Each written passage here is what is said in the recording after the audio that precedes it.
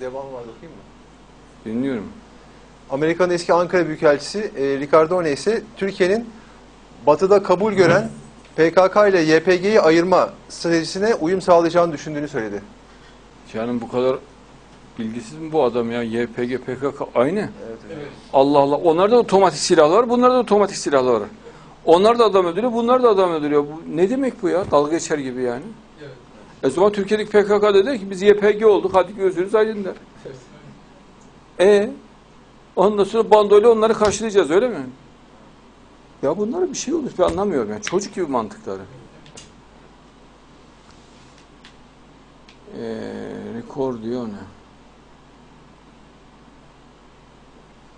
Şimdi bu